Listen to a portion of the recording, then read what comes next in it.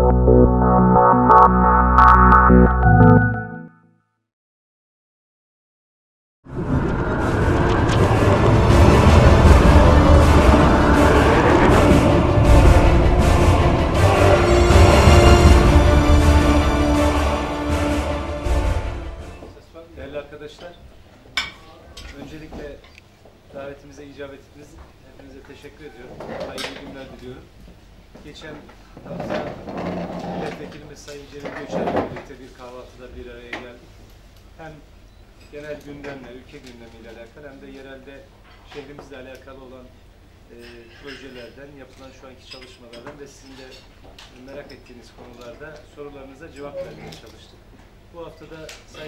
Şakır hocamız bizlerle beraber dün e, Sayın Valimizin ve Karayolları Bölge Müdürümüzün de olduğu e, bazı çalışmaları yerinde görmek suretiyle bunun dışında da bazı programlara katılarak bir gün geçirdik. Bugün de ilk sabahleyin kahvaltıda basınla bir- birlikte bir araya gelelim. Hem şehrimizle alakalı hem de genel gündemle alakalı eğer varsa sorularımız onlara cevap verelim. Ondan sonra da yine şehirle alakalı bizim e, haftalık rutin olarak hafta sonları yaptığımız programlarımıza devam edelim diye düşündüm. Bu bağlamda e, hocam birazdan hem selamlama hem de kendi notlarıyla alakalı bilgi verdikten sonra sizlerin şehrimiz ve ülke gündemiyle alakalı sorularınız varsa hem biz hem hocam cevap vermeye çalışacağız. Ben tekrar böyle bir e, bizleri yalnız bırakmadığınız için, icabet ettiğiniz için teşekkür ederim. Sizler aracılığıyla Tokatlı hemşehrilerimize hayırlı günler diliyorum. İnşallah bundan sonraki süreçte hep beraber zor bir süreci atlatıyoruz biliyorsunuz. Herkesin basının üzerine düştüğü kadarıyla, teşkilatımızın, siyasinin, siyasilerin üzerine düştüğü kadarıyla ve vatandaşımızın da üzerine düşeni yapması suretiyle inşallah bu günleri hızlı bir şekilde atlatırız ümidiyle ben tekrar sizleri saygı ve muhabbetle selamlıyor. Hayırlı günler diliyorum. Hocam. Teşekkür ederim değerli başkanım. Değerli basın mensubu arkadaşlarım, eğer kabul ederseniz, değerli meslektaşlarım, yani hala kabul ederseniz, kıymetli hemşehrilerim, ben de hepinizi hürmetle, muhabbetle selamlıyorum. Her birinize hayırlı, sağlıklı, esenlik içerisinde bir hafta diliyorum. Ve önümüzdeki günlerin ülkemiz, milletimiz, tabiatıyla Tokat'ımız için hayırlar getirmesini temenni ediyorum. Sizinle bir arada olmaktan ki epey bir süre geçti beraber olmadığımız, tek tek beraber olsak da hep birlikte bir arada olduğumuzun üzerine epey vakit geçti. Bir arada olmaktan çok büyük bir memnuniyet duyduğumu ifade etmek isterim.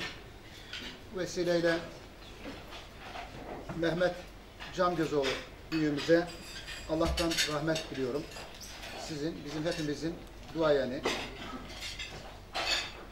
Allah makamını cennet etsin, taksiratını affetsin.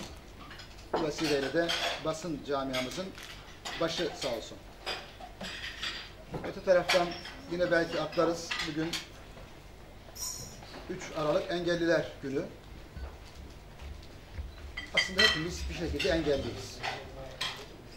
Birimizin bedeni engelli, birimizin zihni engelli, ben bazen söylüyorum, sadece beden engellileri değil, zihin engellileri de, zihin engelli derken e, akli dengesi yerinde olmayanı kastetmiyorum. Bazen her birimizin söyleyip de söyleyemediğimiz şeyleri, yutkunmak durumunda olduğumuz şeyleri de bir zihni engel olarak telakki edenlerdenim.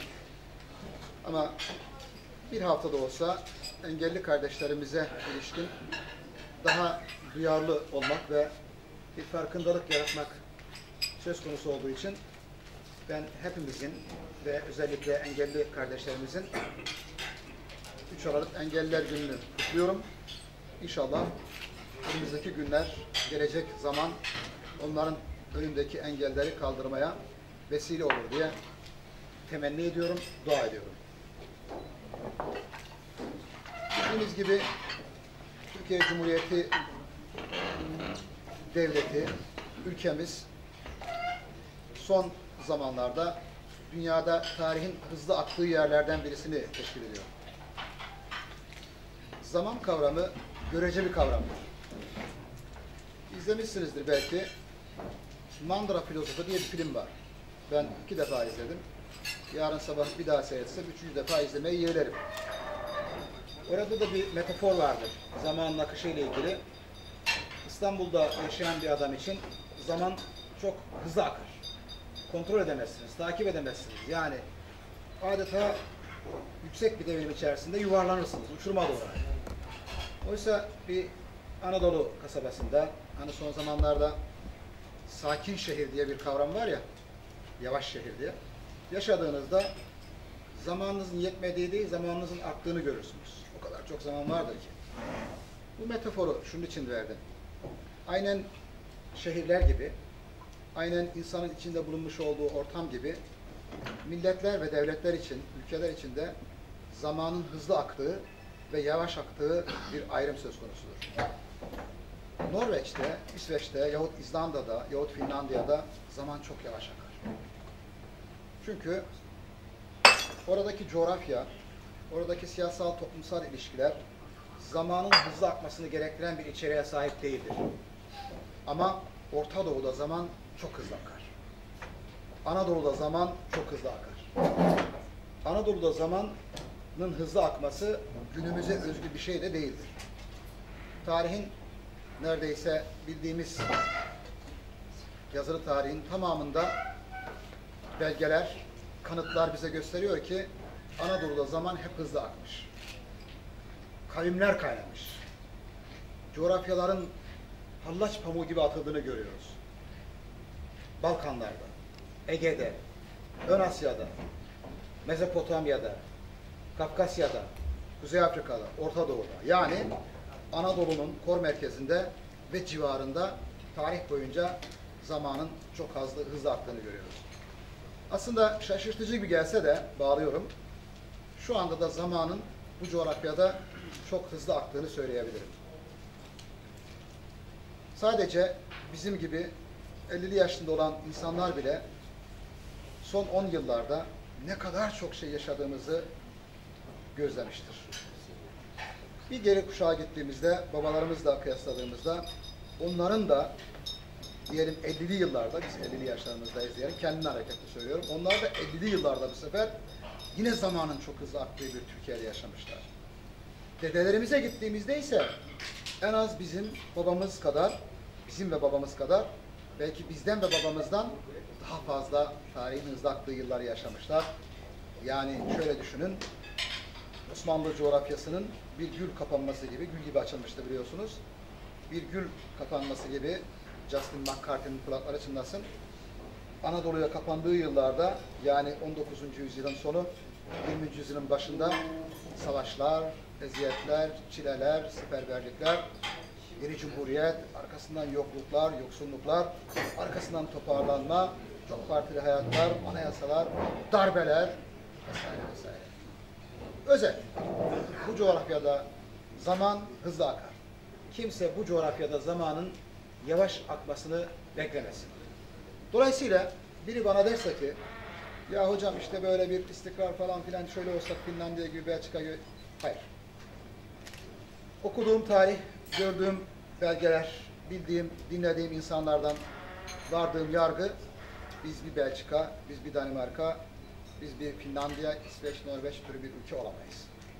Biz hep devinimin, hareketin, bazen çatışmanın yüksek olduğu bir ülke olduk ve yüksek olacağı bir ülke olacağız. Bu anlattıklarımdan asla şu çıkmamalı. Yani o zaman hocam bu ülkede huzur yok bize. Yani söyleyecek söz de yok. Masayı devirelim, kalkalım, çıkalım. Hayır, aksine. Her gün yeniden bir dengenin olduğu, her gün yeniden bir düzlemin ortaya çıktığı bir ülke olduğu için söylüyorum. Bir siyasetçi kimliğimle söyleyecek olursam, siyasete geliyoruz artık yavaş yavaş bağlayayım. Avrupa'nın çoğu ülkesinde, hepsinde olmasa bile kuzeyinde siyaset gündelik işler üzerinden yapılır. Bu ülkede siyaset yaşam biçimleri üzerinden yapılır. Siyasetin yaşam biçimleri üzerinden yapıldığı ülkelerde sözünü etmiş olduğum devinimin hareketinde biteceğini beklememek gerekir. Bu konudaki son sözüm budur. Son günlerde yaşamış olduğumuz şeyler de bununla alakalıdır. 15 Temmuz'la birlikte en son orada kalmıştık biliyorsunuz. Bu devinim tekrardan hızlanmış. Yeni bir denge, yeni bir düzlem oluşmuştur. Ondan önce var olan düzlem ve denge ortadan kalkmıştır. Bundan emin olabilirsiniz. Yani artık eski hal bu haldir.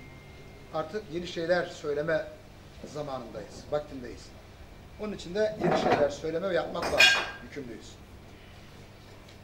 Çünkü olayların akışının tamamını biz insanlar, siyasetçi de olsak, gücü kontrol ediyorsak tamamını kontrol edemeyiz. Bunların bir kısmı bizim dışımızda gelişir.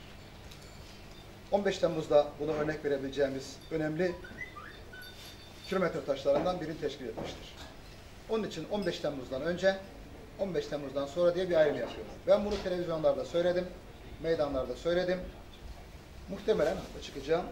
Ülkenin siyasal tarihi yahut kabaca tarihi yazılırken de 15 Temmuz'dan önce, 15 Temmuz'dan sonra diye yazılacak. Üzerinden işte ne kadar geçti? 4 ay geçti, 5 ay olmadı. 5 ay mı oldu ya? 6 ay olmadı.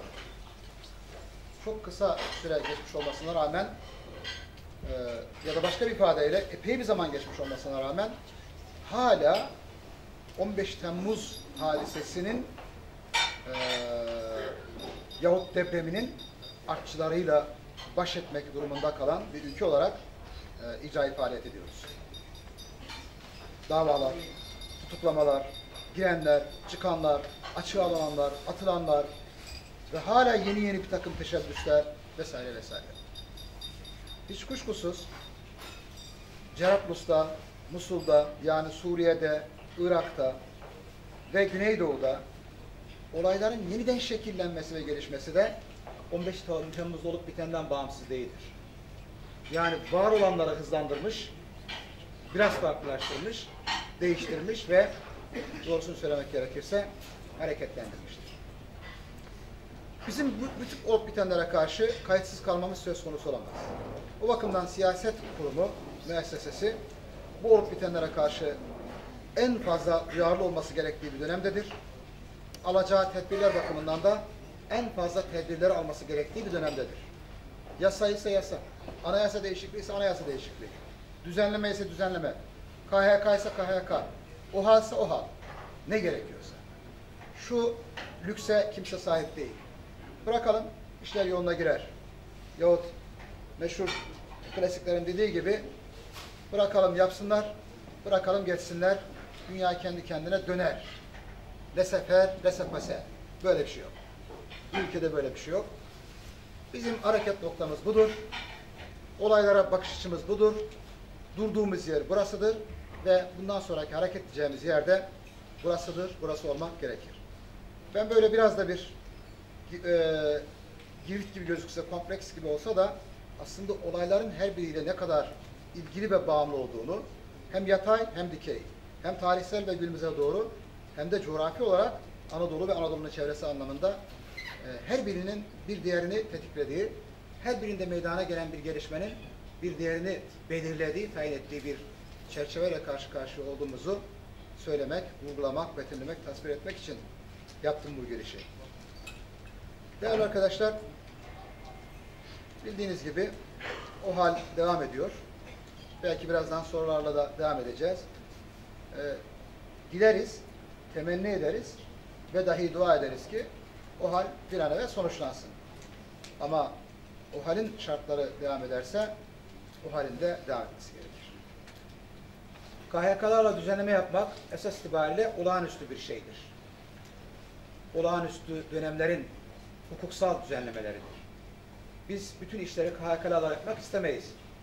Ama o hal devam edecekse hiç kuşkusuz şaşırmamak gerekir ki KHK'larda devam edecektir. Çünkü bizim o hal devam ettiği için kanun, kanun düzenlemeleri yapmaya da devam etmemiz gerekir. En taze gelişme olarak söyleyelim. Anayasa değişikliği var gündemde.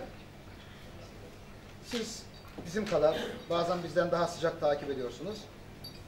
Çok uzun olmayan, uzun tartışmalardan sonra, çok uzun olmayan, tartışması uzun fakat kendisi uzun değil, onu söylemeye çalışıyorum.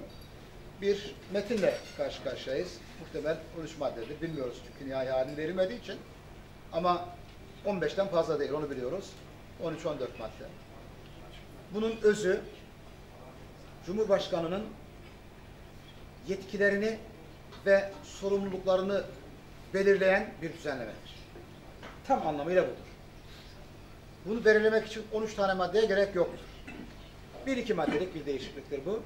Fakat o bir iki maddede yapmış olduğunuz değişiklik başka ma bazı maddelerde de bir iz, düş iz düşümü olduğu için zorunlu olarak orada da değişiklik yapmak gerektiğinden ve gerekeceğinden bu değişiklik yapılan düzenleme yapılan madde sayısı onun üzerine çıkmaktadır.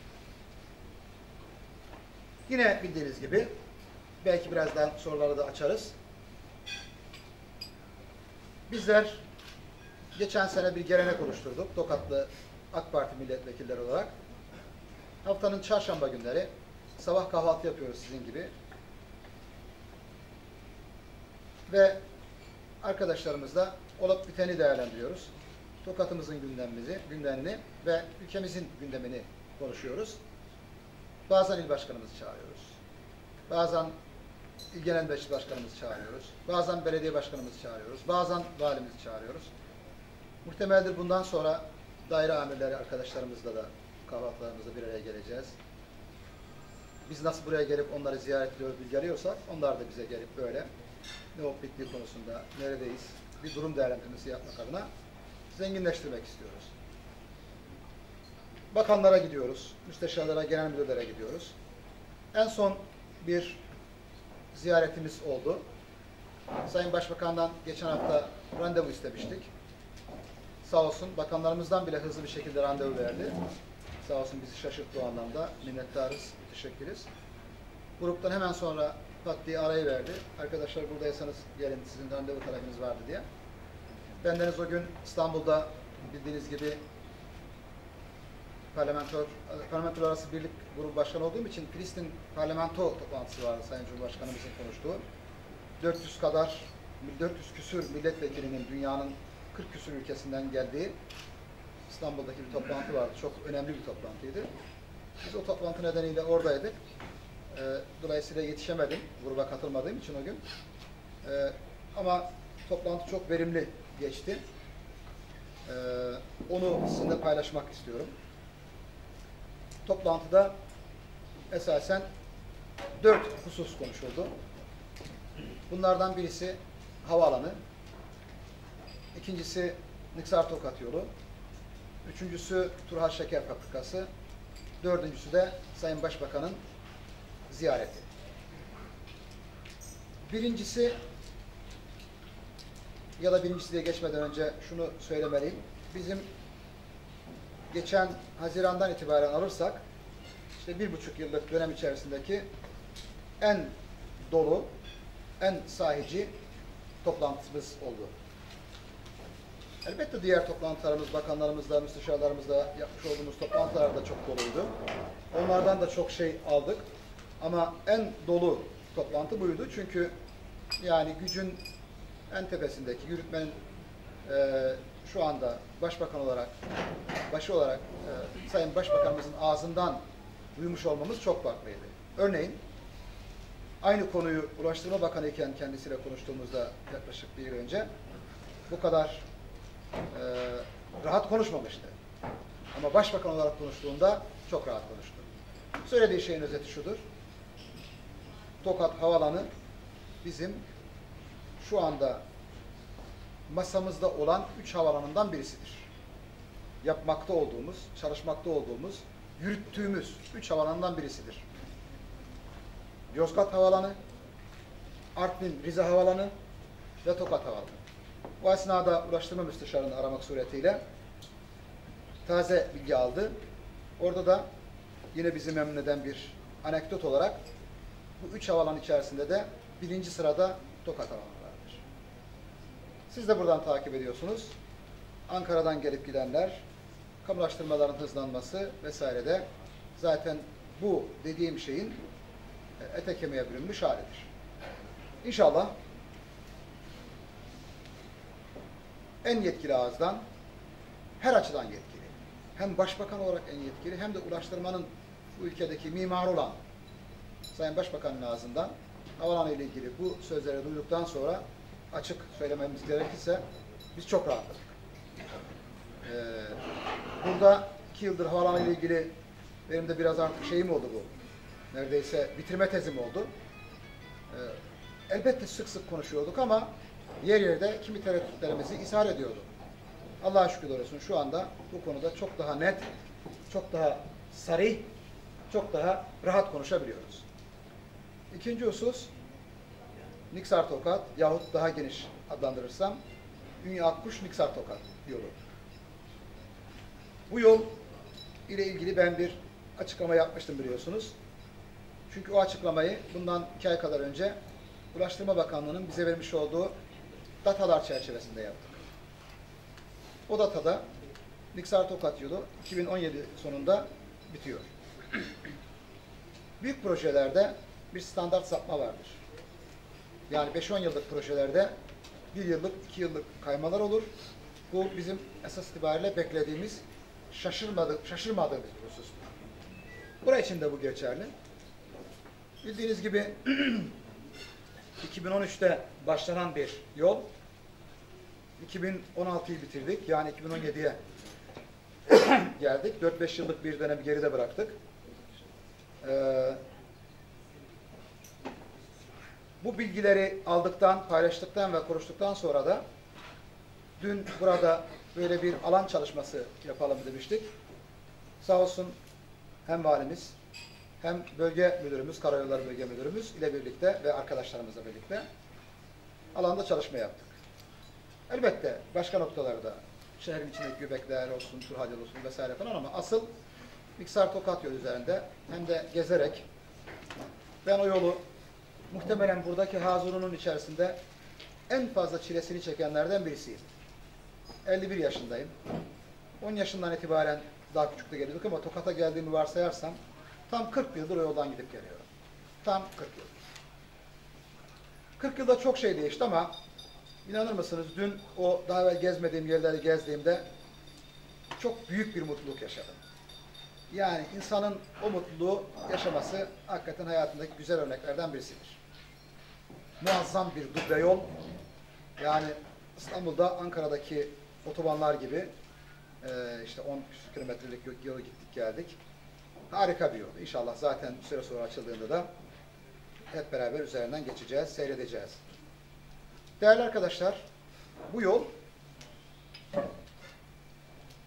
Ha, dün orada konuşurken bambu ağacı örneği vermiştim. Mehmet Bey hiç kaçırmamış yani. Evet öyledir. Büyük projeler öyledir hakikaten Mehmet Bey. Bambu ağacı gibidir. Verdiğim örnek şuydu. Bambu ağacının klişe şeyini hepiniz bilirsiniz. Bambu ağacı bir çekirdek tohum topraklı, kumlu, çakıllı gömülüyor toprağa ve 5-6 yıl onu suluyorsunuz.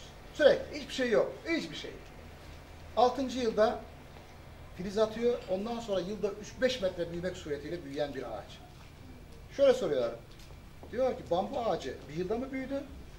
7 yılda mı büyüdü? Eğer arkasını görmek istemezseniz bambu ağacı bir yılda diye, büyüdü diyebiliriz. Bu da yüzeysel olarak doğru bir cevap vermiş oluruz. Ama bu cevabı sahibi cevap olarak ortaya koymaz.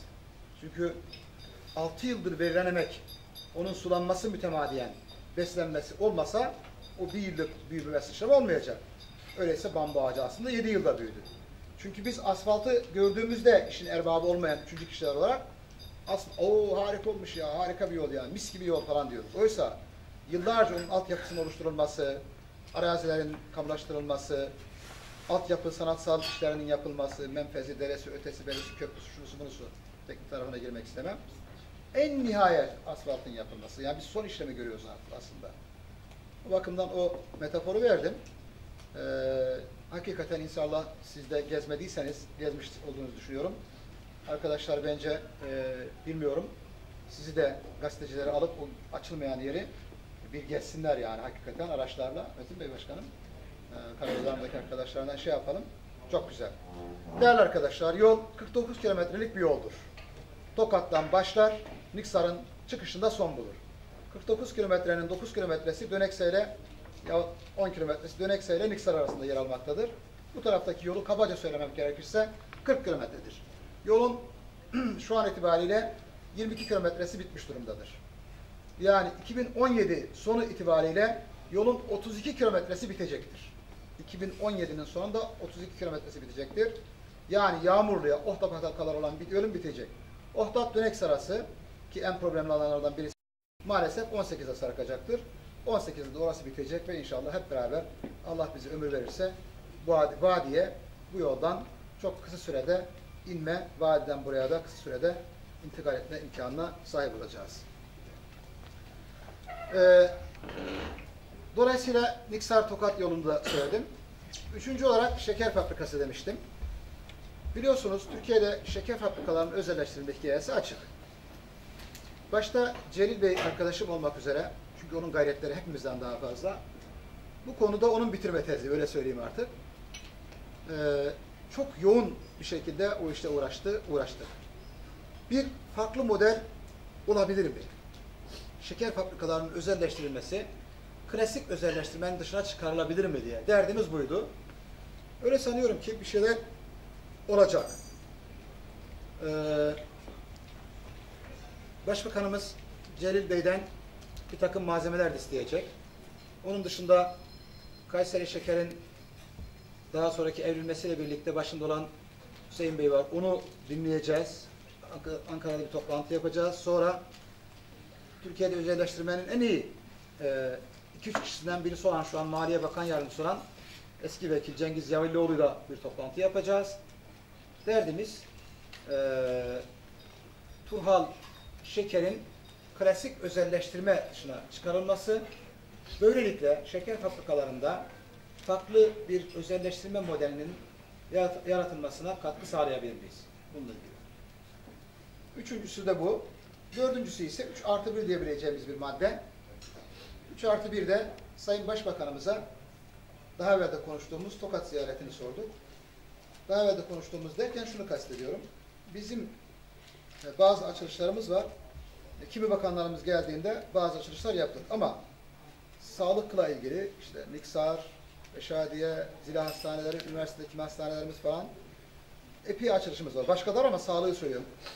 Her iki sağlık bakanımız da mevcut ve bir önceki Sayın Başbakanımız gelecek dediği için doğrusunu söylemek gerekirse bu tehir oldu.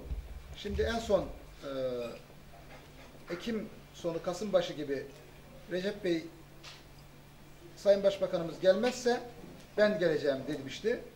Fakat o da Sayın Başbakanımız bir bakalım dedi diye bırakmıştı. O da Sayın Başbakanın geleceği ihtimalini ortaya çıkarmıştı.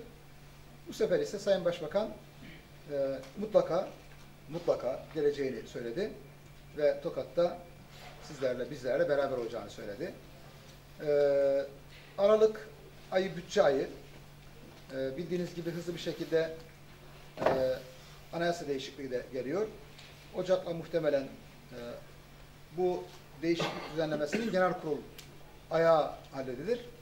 Sanıyorum Şubat ayı sonu gibi e, inşallah Mart'ta da sarkmaz. Sayın Başbakanımın e, Tokat'ı teşrif edeceğini e, onun ifadelerinden hareketle söylüyorum. Umuyoruz, bekliyoruz. Benim kısa dedim ama hoca milleti çok da kısa konuşamaz. Aslında kısa konuşmak zor bir iştir. Kısa yazmak zor bir iştir. Kısa cümle kurmak zor bir iştir. E, zor olan da yapamıyoruz biz. E, ben şimdilik bu kadar diyeyim. Sabrınız için çok teşekkür ediyorum. Sualleriniz olursa da cevaplamak, yok cevaplamak olmasa bile açıklama yapmak isterim. Vekilim bu e, Tokat Ordu yolu ne durumda? Yani İnsan Ordu yolu. Arkadaşlar, Oraya değinmedik o şeye. e, eyvallah İlhan Bey. Niksar, Ordu arası e, bir miktar uzayacak. Çünkü birkaç defa Akkuş, Ünye arasında ben oraları çok iyi biliyorum. Eşim o taraftan olduğu için Fatsa'dan olunca git gel sürekli artık o köyleri falan da Tokat'ın köyleri gibi ezberledim. Ee, Akkuş, Ünye arasında birkaç defa güzergah değişti. Ben hala da şu anda oradaki güzergahın tartışmasına devam ettiğini biliyorum. Kumrulular, Kumru tarafından güzergahın inmesini istiyor. Tek kirazlar yukarı, sol taraftan bize göre sol taraftan gitmesini istiyor. Siyasetçiler arasında daha evvelden gelen bir tartışma var. Kanaatim, orada coğrafyada zor. Kanaatim, Niksar Akkuş arası daha hızlı bitecektir. Ama Akkuş Ünye arası uzayacak gibi gözüküyor. Yani bizim Niksar Tokat'la beraber bitmesi söz konusu değil. Orada biraz uzuyor. şeker fabrikası özelleştirmesi hakkında sizin hani demek dediğiniz konudan farklı olarak ne olabilir? Değerli arkadaşlar, şeker fabrikaları Türkiye'de içinde yer aldıkları şehirlerin en kıymetli arazilerini bünyelerinde barındırmaktadır. Dolayısıyla kimi örneğinde, adını vermeyeceğim, bu özelleştirmeler yapıldığında yapılan özelleştirme o fabrikanın kendisine değil de söz konusu gayrimenkule dönük olarak yapıldığını biliyoruz. Turaç Şeker Fabrikası'nın gayrimenkulü de altın değerindedir. Yarın bir gün bu klasik özelleştirmeye tabi tutulduğunda nihayetinde şu anda kanun o. Daha hala da değişmiş değil. Türkiye Cumhuriyeti'nin mer'i mevzuatı bu. Biz buna mugayirde hareket edemeyiz. Bütün gayretimiz bunun dışına çıkarmak, sepetin dışına çıkmak. Eğer öyle olursa orayı özelleştiren adam aldığında fabrikayı çalıştırır. 3 yıl, 5 yıl çalıştırır. Der ki zarar ediyorum der. Fabrikayı kapatıyorum der. Ondan sonra da başka bir şey yapar. AVM açar ne bileyim yani. Ona girmek istemiyorum. Biz diyoruz ki öyle bir özelleştirme olsun ki bu özelleştirme orada her halükarda şeker fabrikasını çalıştıran bir özelleştirme olsun. Anlatabildim mi? Onun için yeni bir model arayışı. Devletle, devletin hala çıkmadığı, devletin yarı resmi kuruluşların içinde olabileceği bir yere varmış değiliz ama klasik özelleştirme formunun dışına çıkmak istiyoruz orada. Eğer o olursa orada o şeker fabrikası devam edecektir. Orada o şeker fabrikasının mutlaka devam etmesi gerekir. Etmezse üzülürüz. Sebebi şu, çünkü orada o şeker fabrikasının devam etmesi sadece fabrikadaki istihdamla alakalı değil, bizim hala beğenelim beğenmeyelim, Kazova, Zile, Artova civarı, üç ilçeyi birden sayıyorum. Hani kelkit sınırlıdır. Şeker pancarı üretimi oldukça ciddi bir potansiyelimiz var. Çok sayıda insanımız hala ekmeğini oradan yiyor. Dolayısıyla bu insanların toprağın üzerinde durması, şeker, şeker pancarı üretimini yapması, dolayısıyla kendi fabrikamıza vermesi gerekir. Ya bu sürekliliği sağlamak durumundayız inşallah. Teşekkür Son bir sorum daha var. Lütfen İlhan Bey. Vekilim. Bu bizim Tokat'ın e, Amasya ile Çorum arasındaki Mecitözü biliyorsunuz tek yol. hani belki bizim konumuz dışında orayla ilgili hiçbir çalışma yaptınız mı duble yol olarak? Veya hükümetin böyle bir şeyi var mı? Çünkü biliyorsunuz Ankara'ya açılan tek yolumuz orası. Arkadaşlar İlhan Bey teşekkür ederim. Ee, soru için teşekkür ediyorum. Hatırlattığınız için. Çünkü dün konuştuk bunu. Ben de bunu bilmiyordum. Ee, şu anda Mecidözü yolu da programa alındığını bölge müdüründen dün ben öğrendim. Ben doğrusu o zamana kadar bilmiyordum. Ee, çünkü hep konuşuyorduk, tartışıyorduk. O da çok mutlu etti beni. Böylelikle bunu da ifade etmiş oldum. Çünkü bu yol ilginç bir şekilde her taraf Amasya'nın, Çorum'un fakat sorunu yaşayan biziz. Evet. Çorumlular diyor ki bizim o tarafta bir işimiz yok. Amasyalılarda bizim diyorlar iki tane yolumuz var. İkisi de uluslararası, uluslararası yol adeta. Yani e, Yumuşacıköy, Merzifon zaten dokunmuyor. Tokat ise tamamı Tamam, oradan etkileniyor. Bu da çok sevindirici bir haber inşallah. O da zor değil çünkü orada biliyorsunuz yol yapmak çok kolay yani. Evet, burası bir 70 kilometre, Evet. 60 kilometre. Yok, şey çalışma yapmak zor değil. Zemin e, müsait Sayın Vekilim. Zemin müsait. Peki Sayın Vekilim, e, Tokat Büyükşehir e, kapsamı gündeminde yani bu e, nasıl alınacak mı Sayın Vekilim Büyükşehir kapsamı? Teşekkür ederim İhsan Bey. Ee,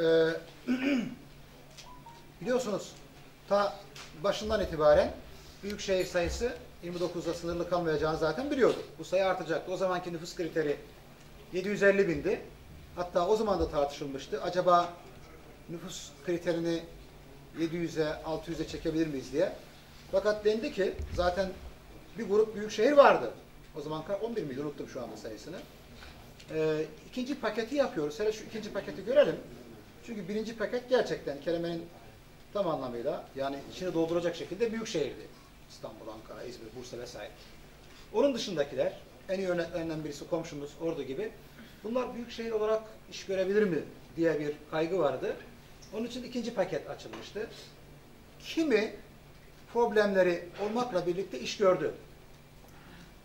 Ee, coğrafi zorluğu olan yerlerde, yine Ordu gibi, iyi biliyorum çünkü Ordu'yu, eş durumundan değil, oradaki arkadaşlarım üzerinden biliyorum.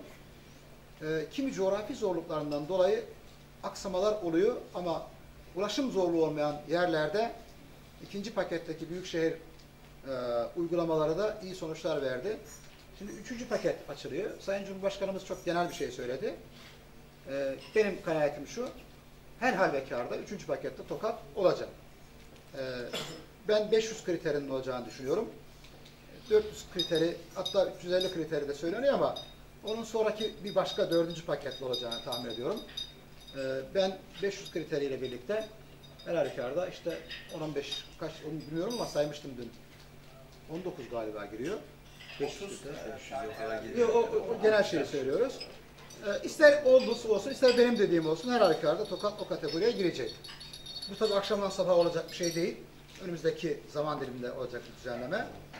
Bizim de kimi coğrafi zorluğumuz var. Yani şöyle düşünüyorum.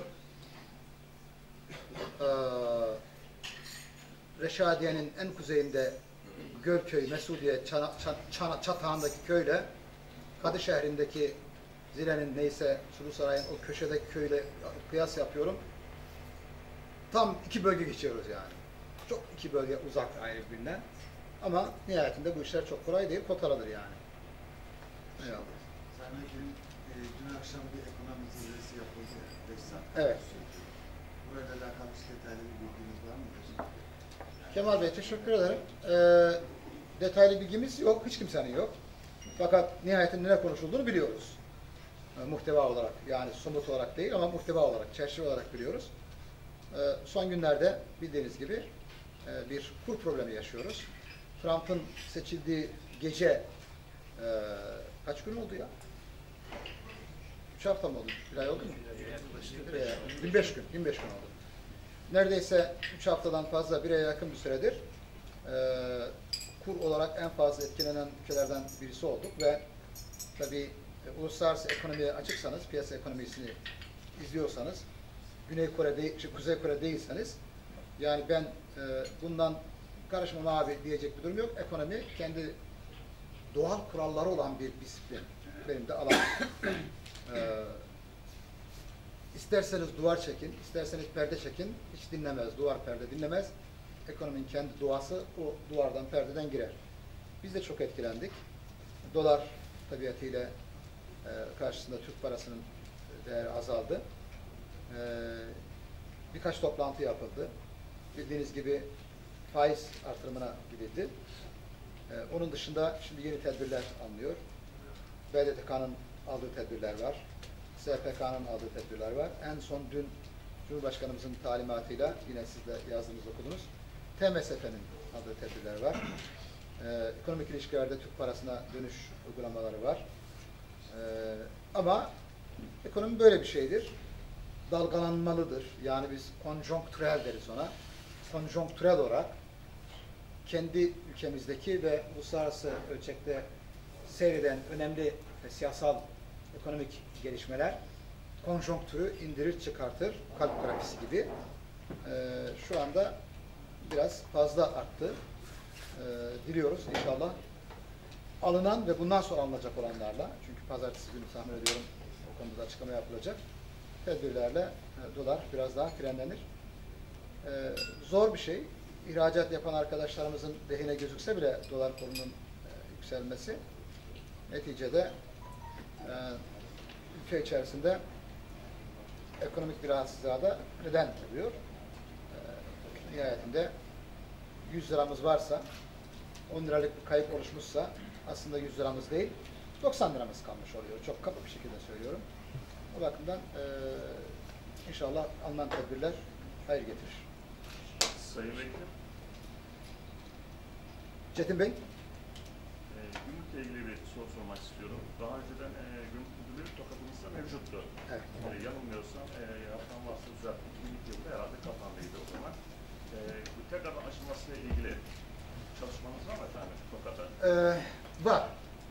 Bunu daha evvel de konuşmuştuk hatırlarsanız. Ee, yani gitmese iyiydi ama gitmiş. Yani nasıl gittiğini de anlamadık. Öyle pat diye gitmiş. Biz bunu e, konuştuk. Bir arkadaşımız Tokatlı, biliyorsunuz genel müdür, muhafaza genel müdürü Abdullah Soyan arkadaşımız. Sağ olsun o bunu takip etti. Ee, fakat bu demin konuşmamın başında söylediğim Çetin Bey çok her şey aktığı için 15 Temmuz'dan sonra tabiri caizse dosyalarımıza daha yeni yeni dönmeye başladık. Çünkü son 4-5 ay e, şeytan taşlamaktan tavaf etmeye fırsat bulamadığımız bir 4-5 ay oldu. Tam anlamıyla bunu söylemeye çalışıyorum. Daha yeni yeni şeytan taşlamayı biraz azalttık da tavaf yapmaya fırsatımız olacak. Ama var gümrük meselesi. Ee, hem genel müdürümüz onu yakından biliyor, uygun şeyi yapacak. Ee, bakanı da bildiğim kadarıyla paylaştı. Ee, çok acil görmediğimiz için diğer meseleler gibi ama e, konuştuğumuz ve gündemimizde olan bir mesele gümrük meselesi. Teşekkür ederim. Ben teşekkür ederim.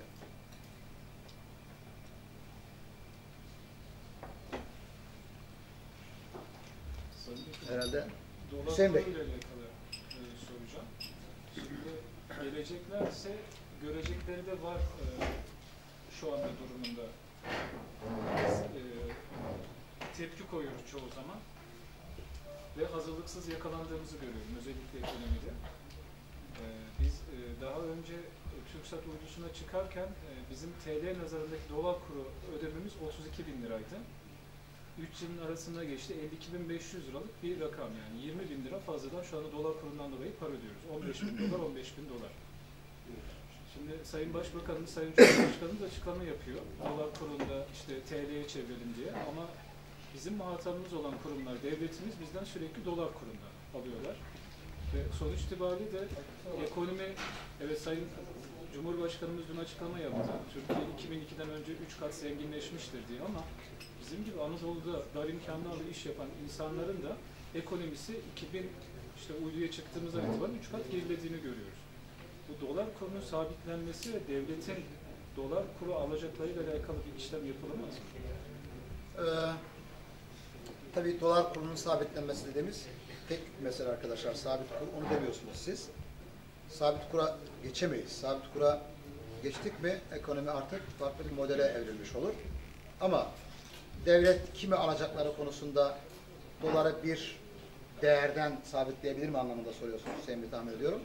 Yoksa sabit kur onu geçtik artık biz çünkü bu ülkede. Ee, olmaz bir şey değil bu. Fakat e, bu bir alanda böyle bir uygulama başlatıldığı zaman başka alanlardan da yoğun bir şekilde bu talep gelecektir. Ve bu sefer bir kontrol problemi ortaya çıkabilir. Ee, onun yerine başka düzenlemelerle belki bu iş tahkim edilebilir. Rakamlar güncellenebilir. Devlet başka bir takım imkanlar sağlayabilir. Çünkü doların kur sistemiyle oynadığımızda bütün ülke ekonomisini e, işin içerisine sokuyoruz. Ama diyelim ki yayıncılıkla ilgili böyle bir alanda e, devlet der ki şöyle bir katkı sağlıyorum der yayıncılara. Nihayetinde her meslek grubunun devletten bir imtiyazı oluyor. Kabul etmek gerekir. Çiftçinin oluyor, işçinin oluyor, sanayicinin oluyor, medyanın oluyor. Dolayısıyla medyanın bu tarafıyla da sizin de böyle bir şey olabilir. O nedir onu bilmiyorum açıkçası ama olabilir. Ee, ama dediğinizi e, yapacağını sanmıyorum Hüseyin Bey. Ee, belki orada şunu eklemek lazım. Bu akşamdan sabaha olan bir şey değil. Arkadaşlar 15 Temmuz'da olup biten şeyler öyle e, üstün körü geçirilecek şeyler değil. Ülke 15 Temmuz'da çok ciddi bir yerden geçti. Elbette bir kırılganlık oluşturdu. Benim komisyonum da dahil olmak üzere yurt dışı komisyonundaki arkadaşlar yurt dışından gelen misafirlerimizi meclisi gezdiriyoruz. Aslında bir itirafta bulunayım. Çok zoruma gidiyor. Çok zoruma gidiyor. Adamlara çağırıyoruz. Önce kızdık adamlara. Gelmediniz, gitmediniz, bizi ziyaret etmediniz falan filan vesaire bir sürü. Şimdi geliyorlar, geldiklerinde bakın işte buradan bomba attılar, buradan vurdular başımızı falan filan. Bu benim çok zoruma gidiyor. Çünkü kendi paradoksunu, ironisini kendi içinde barındıran bir şey bu. Yani adama şunu der. "E kardeşim yani niye şey yaptırdınız, vurdurdunuz vesaire falan filan. Bunun için söyledim biliyor musunuz? Hüseyin Bey'in sorusundan hareketle. Ee, arkadaşlar öyle ya da böyle bu ülkede darbe teşebbüsüne girişildi. Ve çok önemli olaylar oldu. Şehitlerimiz, gazilerimiz, yıpranmamız. Sadece Trump'a bağlayarak bir ekonomik açıklama yapılamaz. O zaman bir kırılganlık oluştu. Hamdolsun biz o kırılganlığı kompanse etmek, ikame etmek için oradan ortaya çıkan problemleri çözmek için yaz o çabalarla geçti. Zor bir yaz geçirdik biz. Zor bir yaz geçirdik. Dolayısıyla daha yeni yeni koltuklarımıza oturuyoruz. Yeni yeni yerimize oturuyoruz. Her birimiz, her birimiz, hepimiz. O bakımdan da e, bunu öngörmek zor değildi. Toparlayacağız.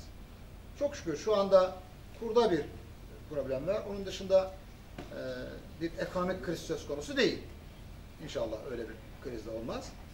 Ama e, her şeye rağmen 15 Temmuz'a, kura, şuna, buna vesaire rağmen e, uluslararası ekonomik kuruluşların ülkemizle ilgili söylediği şeyler, Türkiye ekonomisiyle ilgili şeyler son derece olumlu. Özellikle daha 2-3 gün önce Fitch'in açıklaması vardı.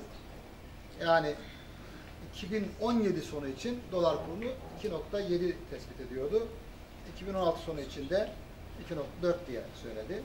Ki o kuruluşlar içerisinde en saygın olanıdır. Benim en fazla itibar ettiğim kuruluştur. Bazen işimize gelmeyen açıklama da yapar ama çok beğendiğimdir. Ee, onun öngörüsü de doğrusu beni rahatlatan bir e, rakam, rahatlatan bir açıklamadır. Ee, öyle sanıyorum ki bu dalgalanma oldu. Dedim ya konjonktürel derken onu kastetmiştim. Denizler durulmaz dalgalanmadan diye bir laf vardır. Bu dalgalanma olacak, denizler tekrar durulacak ve işimize bakacağız inşallah. Sayın Tokat'la alakalı büyük projelerde 3 sene, 5 sene aksama oldu dediniz. Şimdi Tokat Niksar yolu 49 kilometrelik bir alan. Dünyayı geziyorsunuz, biz de geziyoruz. Tokat Niksar yolu çok büyük bir proje mi? 3 sene, 5 sene gecikerek devam ediyor. Evet, Niksar Tokat yolu büyük bir proje. Arkadaşlar, e, siz de bu memleketin çocuğusunuz ve orayı biliyorsunuz. Şu anda e, bu güzergahın 50 kilometrelik, 49-50 diye okuyalım. 50 kilometrelik güzergahın e, önemli bir kısmı sıfırdan yapılan bir yol. Bir kısmı mevcut yolun paralelinde yapılan yol. O sıfırdan yapılan alanlarda çok ciddi problemler yaşadık. Bir defa sadece teknik bir engelden bahsetmiyoruz Hüseyin Bey. Bir köyde 9 haneden 7 haneye, 7 haneden e, bir haneye tam bir yılda düşebildik. Ne demek istediğimi anladın bilmiyorum. Kamulaştırma yapıyoruz. Vermiyor adam. Vermiyor. Bizim Tokat'ta da biliyorsunuz birkaç tane yerimiz var. Bir adam yerini vermediği için, kamulaştıramadığımız için kalıyor. Kalıyor yani. Bir, bir yıl, iki yıl atıyor yani. En son siz girdiğinizde bir dava açıyor. Yürütmeyi durdurma alta yatıyor. Yani üç tane köyden, burada üç tane köyden problem yaşandı bu yol üzerinde. Onların ikna edilmesi, konuşulması, görüşülmesi, davalar oldu biliyorsunuz. Kaç tane dava oldu. Onların sonuçlanması. Sadece siz elinizde dozer gitmiyorsunuz oraya. Hukuksal zeminin kamulaştırması, efendim etütleri, şunları bunları. Bir de daha ilk projesi şekillendiği andan itibaren bahsediyoruz. 2013'te karar alındı. Ertesi gün gelindi kazma vuruldu değil ki. Projeler, etütler, zemin incelemeleri, bunun mühendis, yanımda inşaat mühendisi var, asıl işin erbabı o söyleyecek. Yani bu, e, ben sosyal bilimciyim. Karar verdik, yarın sabah kazma vuralım. Böyle bir şey değil. Dünya kadar e, ön çalışması, hazır çalışması oluyor yani. Çalışması, proje çalışması vesaire. E, 17'de biten bir çalışma. Bir yıl sarkacak gözüküyor ki bana göre son derece e, iyi. Ben kesinlikle şu tablodan memnunum. Sayın Vekilim bu hava, havalarla ilgili e, çalışmalarınızda bir önce bahsetmiş olduğunuz kamulaştırma olayı, öteki çıkan sorular, orada görüşüyorsunuz. Ee, yaşandı ama şu anda iyi. Yani süreç uzayacak mı? Onu Hayır, ifade- hızlanacak. Bunu ifade Bu zamana kadar uzamıştı, bundan sonra hızlanacak. Evet. Şöyle bir şey Çetin Bey, insanlar bir şeyin ne olacağını görmek istiyor. Köylülerimiz orada, üç tane köye dokunuyor biliyorsunuz. Köylülerimiz de ne olacağına baktılar. Baktılar ki fena olmuyor, iyi oluyor. Rakamlara girmiyorum. Evet devlet güzel para veriyor. Bu işte oluyor. Bir sürü insan %50'nin üzerine çıkmış şu anda. Tamam dedi. Bundan sonrası çoğu gitti, azı kaldı. Zoru gitti, kolay kaldı. Mehmet Bey siz bir şey demişsiniz. Evet, Buyurun. e, Sayın Vekilim şimdi e, Bir özür dilerim Mehmet Bey. Şu Çetin Bey'in ben bu şeyleri not da alıyorum yani ajandama da koyuyorum. Ee, kamulaştırmayı sormuştum. Buyurun Mehmet Bey. Şimdi tabii bu e, gerek dün e, Tokat'a geldiğinizde karayolları bölge müdürüyle takip ettiğimizde gerek bugün bu anlattıklarınızda gerçekten e, Tokat'la ilgili önemli aşamalardan geçen yani bu bambu ağacının o ilk e, dönemleri gibi e, bir takım sıkıntılarla bazı meralar aşılmış. E, bir takım hizmetler yapılıyor.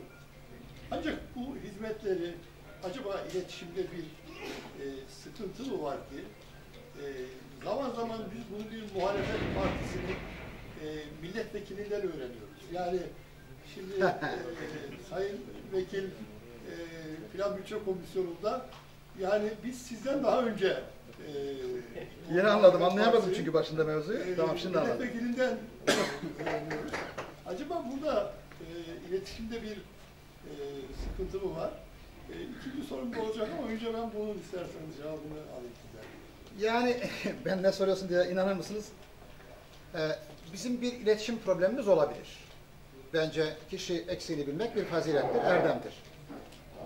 Fakat e, her zaman şunu biz iktidar partisi Mehmet Bey, bir dakika şunu yaptık, bunu yaptık, şurada çalışma yaptık, burada görüşme yaptık demeyi diğer üç vekil arkadaşım adına bir şey diyemem ama kendi adıma çok şey bulmuyorum.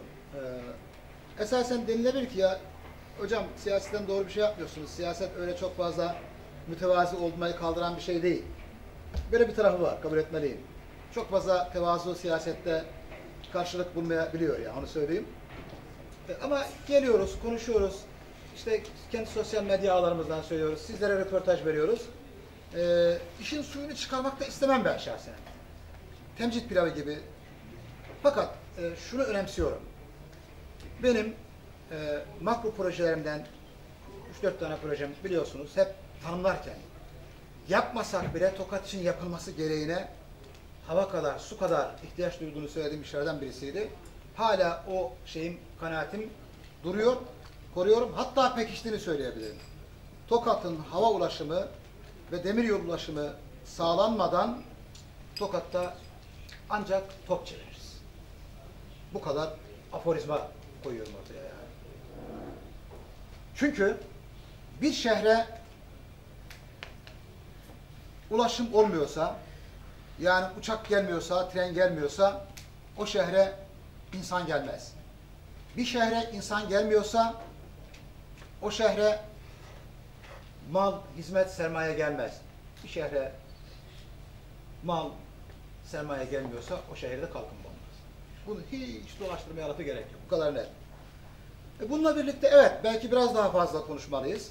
Bir de aynı projeler üzerinde sürekli peyderpey adım atıldığı için Mehmet Bey ancak devam edebiliyor.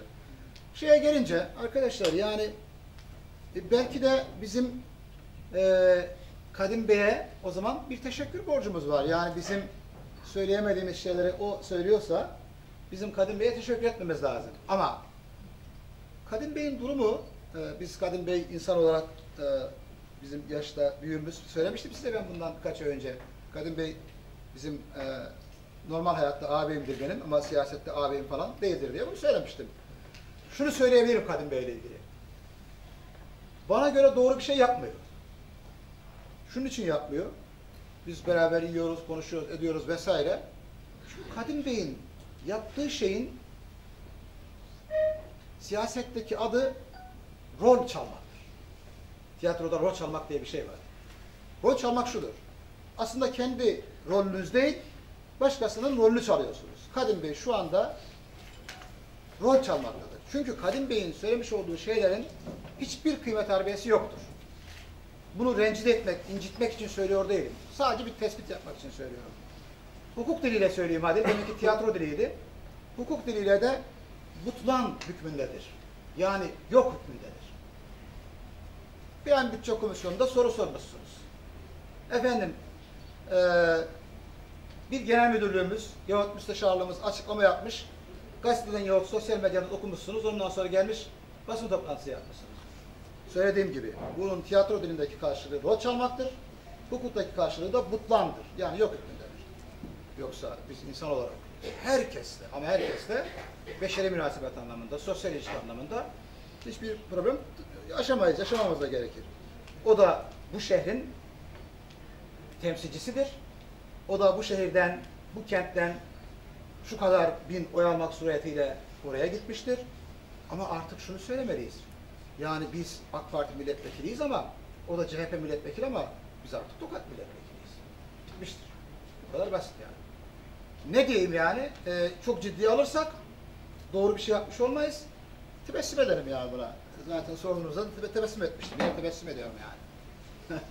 Bir de e, Sayın Vekilim bir şey daha sormak istiyorum. Eğer bu da tabii bu record yani bu basın toplantısında basın toplantısında basına kapalı kendi meselemiz olarak e, size ifade etmek istiyorum. Nasıl oluyor? Eğer Kameralar açık, teypler açık vesaire. Off the record nasıl oluyor? Arkadaşlarımız kabul ederlerse herkes adına. Yoksa ben kendi adıma bir şey söylemek istiyorum. Şimdi mesela siz Tokat'a geliyorsunuz veya sayın vekillerimiz Tokat'a geliyorlar. Ee, biz bu hizmetlerinizi, yaptıklarınızı takip etmek istiyoruz. Bunu bütün arkadaşlarımız istiyorlar. Şimdi e, ancak zaman zaman buna imkan olamayabiliyor. Yani işte e, dün diyelim ki kar yağdı. Ben arabamı çıkartıp aslında isterdim ki saat 10'da çıktığınız andan itibaren peşinizde olalım. Bunu bütün arkadaşlarımız mutlaka istiyorlardır. Ancak zaman zaman e, bizim kendi içimizde olan belki belki başka bir işimiz oluyor falan. Şimdi e, teşkilat burada, il başkanımız burada, fakat teşkilatı burada.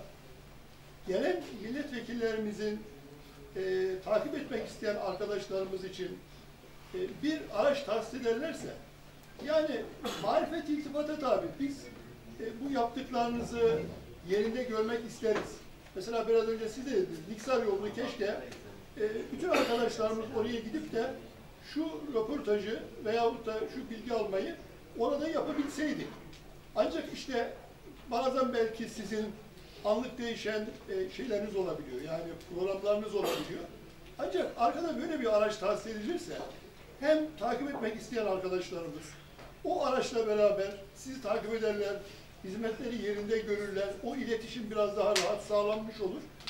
Buna acizane dikkat Şimdi edilirse, önemli bir şey söylediniz. evet ben... E, Bitirdiniz mi bilmiyorum. Bitirdi, evet. Şimdi önemli bir şey söylediniz. Arkadaşlar e, yanlış hatırlamıyorsam 2015 Nisan ayıydı. E, yılını ve ayını iyi hatırlıyorum. Gününü hatırlayamıyorum. Bilmem hatırlayan var mı? Beraber kahvaltı yapmıştık. İlk kahvaltımızdı. Ben orada bir şey söylemiştim. İki yıl sonra yaklaşık iki yıl sonra yine aynı şeyi söylüyorum. Bu üç yıldan daha fazla oldu. Siyasetçilerin medyaya günün sonunda, işin sonunda sadece bir teşekkür borcu vardır. Ve bu teşekkür çok önemlidir.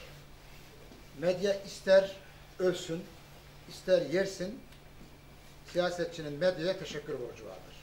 Bunu inanarak söylüyorum. Siyaseten söylüyor değilim, ihtiyacım duyuyorum. Teşekkür borcu vardır. Övdüğü zaman insan övülmek ister. bir parti mensubu övülmek ister. Bir partinin temsilcisi, bu milletvekilidir, il başkanıdır, il teşkilatındadır. Övülmek ister. Yapılan hizmetin görülmüş olması bakımından övülmek ister. Takdir edilmek ister. Siz de demin söylediğiniz marifet ittifakı tabidir diye. Buna bir teşekkür borcumuz var. Şuna da bir teşekkür borcumuz olmalı. Eleştirmişseniz, bizi yerimizseniz buna da teşekkür borcumuzun olması gerekir. Nihayetinde demek ki bizim atladığımız bir şey var, görmediğimiz bir şey var, ıskaladığımız bir şey var. O zaman bizim buna da teşekkür etmemiz lazım gerçekten. O bakımdan medyanın rolünü yani A gazetesi, B gazetesi, Ahmet, Mehmet, Ali Bey olarak söylemiyorum ben. Medyanın rolünü eee küçük küçümsememek lazım, hafife almamak lazım. Hele hele, hele hele eğer taşraysa, Ankara İstanbul değilse, Tokat bu anlamda Ankara'nın İstanbul'un taşrasıdır kabul etmemiz gerekir. Yani yerelde bir medyadan söz ediyorsak, yerelde bir faaliyetten söz ediyorsak, bence daha da önemlidir bu. Nihayetinde siz de söylediniz. Eğer demek ki biz onları bir şekilde duyuramıyorsak, sizin katkılarınızla duyurabiliyorsak, Teşekkür ederiz size. Minnet borçluyuz. Teknik hususa gelince ben doğrusunu söylemek gerekirse dün kalabalık bir gruptuk. Gerek e, Tokat içindeki, Turhal üzerindeki e, ziyaretlerimiz, gerekse e, nihayet Gökdere'ye kadar gittik. Güzergahtaki incelerimizde ben herkes oradadır diye umuyordum. Tabii çok kimseyi de göremedim. E, bu bizim eksiğimiz olabilir. Yani bilemiyorum onu. Parantez açayım hocam. Buyurun. Biz yolla alakalı bundan 20 gün önce gittik oraya. Orada e, yetkili Murat Bey'le hem gezdik hem de ta e, Dönekse'nin başına kadar olan bölümle alakalı nedir ne değildir bayağı biraz sohbet ettik. Orada şöyle bir e, durum meydana geldi. Şimdi şu anki mevcut biten 11 kilometrelik yolla alakalı o yan tarafların bariyerlerinin ihalesinin yapıldığını, onların 12. ay içerisinde yapılacağı, e, tek taraflı açılıp açılamayacağı noktasında bir tereddütün olduğunu, belki 12. ayın sonuna kadar tek taraflı da olsa açılabilir ama bunun genel bölge müdürlüğü ve genel müdürlüğün buna sıcak bakıp bakmayacağı ile alakalı bir tereddüt vardı. Şimdi biz çok somut olmayınca bunu yoksa o gün haberleştirelim dedik aslında. Yani hem açılabilir hem de açılamaz. Yani acaba biz 12. ayın sonunda burayı açacak mıyız yoksa bu iş Mar'da mı kalacak? Mar'da olursa her iki taraf açılacak. Çünkü sol şeridin e, en üst tabakası asfaltı yapılmamıştı. Bunun e, haberleştirilmemiş olması bundan kaynaklı. Şeyle ilgili Mehmet Bey'in e, araç tahsisiyle alakalı da bunu hiç düşünmedik. Bunu düşünebiliriz. Tabii. Yani araç, e, bütün arkadaşlar ayrı ayrı araç mı olur yoksa tek araç mı olur onu da bir bakalım yani değerlendirelim. Ona göre şey Yani yapalım. tamamen ilk aklıma gelen bir minibüs tahsis edilir. Arkadaşlar o gün herkese zaten bilgi geçiliyordu. Arkadaşlar medya aracımız, e, bizim arkadaşlarımız alacak kadar bir minibüs. Evet. Saat 10'da kalkıyor. 2'de geliyor, 3'te gidiyor neyse adı. Denilir. Kendi aracıyla gelen kendi aracıyla gelir. Bizim aracımızla gelen bizim aracımızla gelir. Böylece bu iş çözülür. Yani Tabii yani bizim zor bir burada şey değil bu. Sadece Niksar yolu için demedim ben. Yani her hafta Ya, bir yok, vekilimiz ben geliyorsa, dünkü, dünkü olayla alakalı onun hayır mevzusunu yani her söyleyeyim. hafta bir vekilimiz geliyorsa o vekili takip etmek açısından. Yani her gazete, Yo yo bu televizyon, gayet güzel bir düşünce e, olur. Yani bir yok musun elemanla bu? verir. E, Olur, Sayın olur, Vekil bu saatte buradadır da e, öbür saatte oraya gidecektir. Peşinden ha orada zaten biz e, gazeteye, televizyona alınmaması gereken bir yer varsa burada önemli olan bağcıyı dövmek değil, üzüm yemek. Zaten Evet. biz onu çekmeyiz, almayız. Yani biraz önce Sayın Hocam'ın da söylediği gibi genel basın bir ulusal basın gibi öyle reyting peşinde koşan bir havası yoktur. Yani Tokat hepimizin ortak paydası. Sonuçta burada yapılan işleri vatandaşını kırmak. E, ancak o gün araba bulamazsa sonuç itibariyle şimdi Bence bu siz ne şey kadar değil, e, şey yani. gezerseniz gezin, arkanızda ne kadar çok partili, ben eski bir siyasetçiyim. Sadece partililer görür onu. Evet. Ama vatandaşın görmesi için işte burada kameraların, gazeteci arkadaşlarımız da olursa bundan bütün vatandaş haberdar olur. Teşekkür ederiz. İyi oldu. İçinde bazen insanın aklına gelmiyor. Hem şey de teknik tarafı da güzel oldu şu anlamda. Arkadaşlar aynı anda mekana gitmiş, aynı anda gelmiş olur. Onu da çünkü bazen birisi gidiyor, birisi gelemiyor falan filan. Yani bir minibüs olur. Herkes denilir şu saatte kalkıyor. Bence çok pratik bir şey. Evet. Sayın Vekilim, Konuşuruz onu. 15 Temmuz öncesinde Evet, hükümetimiz güzel bir politika izledi ve basın mensupları siz de bir basın mensubu olarak, e, bizim üstadımız olarak gördüğümüz için söylüyorum. E, çok güzel bir politika izliyordu. Özellikle Cumhuriyet Başsavcılarını, illerdeki Cumhuriyet Başsavcıları mesela bir e, ilk çalışma olarak topladılar ve e, basınla aramızı düzelteceğiz. Onlara bir oda, e, onlara gerekli bilgileri, hani çok özel konular değil de haber alma özgürlüğünde onlara gerçek ve doğru bilgileri vermek açısından böyle bir çalışma başlatmıştı. Ama malum bu e, darbe girişimi süreci olduktan sonra e, bu çalışmalara bir müddet ara verildi. Şu anda da biz Tokat'taki en büyük sıkıntılarımızdan bir tanesi haber almakta çok zorlanıyoruz. E, her konuda yani en ufak bir trafik kazasında bile bir isim almaktan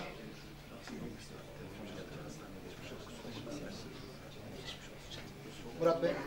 En ufak bir trafik kazasındaki isimleri almaktan bile arkadaşlarımızla çok zorlanıyoruz. Özellikle e, ulusala taşımak e, babında. Çünkü yerel gazetelerde, yerel televizyonlarda ajanslara e, üye, üye, oralar alıyorlar bilgileri. Ama biz bilgi almakta çok zorlanıyoruz. Bununla ilgili hükümet bir çalışma yapacak mı? Tekrar var mı? Bunu bir siz Bununla ilgili, misiniz? bununla ilgili hükümet niye çalışma yapsın? Ya çok bir çalışma yapsın. Asayiş listeleri falan. Şunu söylüyorum. Şu anda Hiçbir şey alamıyoruz. trafik kazası ile ilgili bilgi niye alamıyorsunuz merak ettim yani. Alamıyoruz. Şunu anlarım. Yani özellikle FETÖ soruşturması e, merkezinde ve çevresinde e, sıkıntılı bir dönem yaşanıyor ve tabiatıyla e, soruşturmalar Hassas oldukça hassas, gizlilik seviyesi fevkalade yüksek bir şekilde seyrediyor. Bu eyvallah. Ama şeye gerek yok ki bununla ilgili e, trafik kazası olmuş orada bilgi almak niye zor olsun? Alamıyorsan işte arkadaşlar. Allah Allah yani bu, Sayın Vekilim bir bu, bu operasyon... düzenleme yapılacak bir şey değil çünkü zaten bu açık bir şey yani. Hastalık veya ayıp periyotlarla yani günlük de olabilir. Basına daha öncesinden bazı bilgi servisi yapıyoruz. Deniliyor ki mesela elimizde asayiş durumu. AC isimli, CB, AC ve CB isimli şahıslar mesela uyuşturucu e, ticaret yaparken veyahut da bir yerden bir yere naklederken yakalandı diye yapılan operasyon ilgili küçük küçük çok detaya girmeden soruşturmanın da e, bu devamında herhangi bir sıkıntı yaratmayacak şekilde ufak ufak bilgi notları dağıtıyorlar. Her gün günlük olarak geliyordu bu maillerimize. Fakat son dönemde gelmemeye başladı. Yani- bu tür asayiş, küçük asayiş olayları var en azından bir Anladım ben. haber yapıyoruz. Yani bu Yanlış haber yapıyoruz. Tabii, tabii, tabii. Bu bize yansıyor. savcılık tarafı paranteze kalsın ama emniyet tarafı çok Hem rahat valilik üzerine hani konuşulacak bir şey. Ben bunu not aldım. Son bir olayda e, Sayın Vekilim haberi yaptık biz. Emniyetten gelen bilgi şu ya 3 ay önce oldu bu haber. Onların bize ifadesi bu. Önce Emniyetin de olan olayları basına bildirmesi onların da şeyidir yani. Murat Bey anladım ben. Bunu bir şey yapayım ben.